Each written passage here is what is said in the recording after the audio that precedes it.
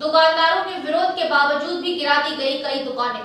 मध्य प्रदेश, छतरपुर ज़िले के गढ़ी मलहरा में एक बार फिर चला प्रशासन का बुलडोजर, हटाया गया अतिक्रमण छतरपुर कलेक्टर के निर्देशन में नौगांव एसडीएम विनय द्विवेदी ने गढ़ी मलहरा में हाईवे के सामने पचौरी मार्केट की चार दुकानों को जेसीबी मशीन से ध्वस्त किया। यह दुकानें सरकारी ज़मीन पर अतिक्रमण कर बनाई गई थी। उनको आज ज़मीन दोस्त किया गया। यह कार्रवाई एसडीएम विनय द्विवेदी तहसीलदार आनंद जैन। नगर पालिका सीएमओ शिवी उपाध्याय, गढ़ी मलहरा थाना प्रभारी की मौजूदगी में की गई। इस दौरान भारी पुलिस बल मौजूद रहा।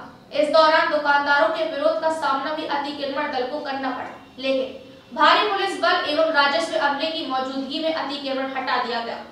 नगर परिषद गढ़ी मलहरा में लंबे समय से अतिक्रमणकारियों के हौसले बुलंद थे और बस स्टैंड सहित नेशनल हाईवे पर अतिक्रमणकारियों के अतिक्रमण के चलते मुख्य संकीर्ण हो गए थे, जिससे आए दिन सड़क दुर्घटनाएँ हो रही थी। ये तहसील महाराजपुर की गढ़ी मिलहरा सर्किल में, पचौरी मार्केट में चार दुकानें शासकीय भूमि पर बनी थी, जिसके खिलाफ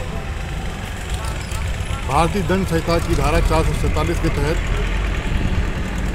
कलेक्टर महोदय के निर्देशानुसार एवं एसपी महोदय के निर्देशानुसार एफ़ आई आर करने के पश्चात कानूनी प्रक्रिया पूरी होने के उपरांत आज मौके पर एस डी पी नौगांव, तहसीलदार, महाराजपुर, टीआई एवं समस्त थानों के थाना प्रभारी नगर पालिका अधिकारी बड़ी मिलारा के साथ मिलकर दुकानों को ध्वस्त किया जा रहा है। सर कितने वर्ग फुट में ये अतिक्रमण शास की भूमि पर किया गया था?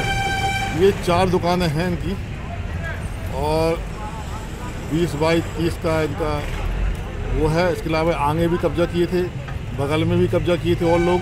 तो सब पूरा आज हटवाया गया है यहाँ पर। ये पूरा कार्रवाई हमारे माननीय कलेक्टर महोदय एवं एस पी महोदय के निर्देशानुसार की जा रही है। श्रीमान गढ़ी मलहर में कई जगह और अतिक्रमण है उसके ऊपर क्या कार्रवाई? सब पे ऐसे जैसी जानकारी मिलती जा रही है उनको हम विधिवत एफ़ कराएँगे और कार्रवाई करेंगे।